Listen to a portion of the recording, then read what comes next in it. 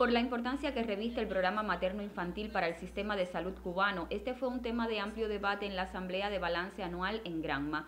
Nuestra provincia cerró el pasado año con una tasa de mortalidad infantil de 7.4 por cada mil nacidos vivos, lamentando el fallecimiento de 61 neonatos. En el análisis de este programa se enfatizó que siguen siendo problemáticas que inciden en las muertes, las malformaciones congénitas y el bajo peso al nacer. Sobre este último indicador se puntualizó que pese a que en 2021 se registraron 35 nacimientos menos con esta condición, sigue siendo alta la incidencia al reportar 6.45 de tasa. Asimismo, la mortalidad materna ascendió a 60.8 por cada 100.000 habitantes, incidiendo entre los factores la COVID-19. Para revertir esta situación se llamó a ser más insistentes en el trabajo de la comunidad, previniendo el embarazo en la adolescencia que alcanza el 23% y llevar mejor control de los riesgos, insistiendo en el trabajo desde los hogares maternos y consultorios, un aspecto en el que fue muy enfático el doctor Luis Manuel Pérez, director de atención médica del MINSAP.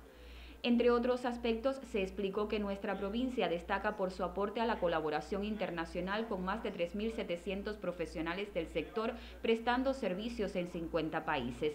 Asimismo, se analizó el proceso inversionista, informando que para el primer semestre de este año se prevé el mantenimiento constructivo de 108 consultorios al tiempo que se anunció el próximo montaje de tres plantas de oxígeno en los hospitales Fe Valle, Celia Sánchez y Carlos Manuel de Céspedes.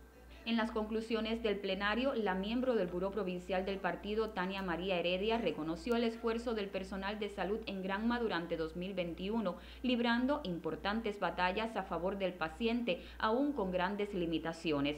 Y justo a los mejores en ese esfuerzo les fue entregado reconocimiento. Aquí se agasajó a los municipios Media Luna y Buey Arriba por exhibir cero de mortalidad infantil. También se reconoció al doctor Carlos Rodríguez por cuadro destacado durante ocho años al frente del sistema de salud en Manzanillo y un reconocimiento especial a la doctora Kenia González Medina, cuadro de amplia trayectoria que se convirtió en vocera de los temas relacionados con la COVID en el territorio, haciendo promoción de salud y llevando el mejor consejo al pueblo.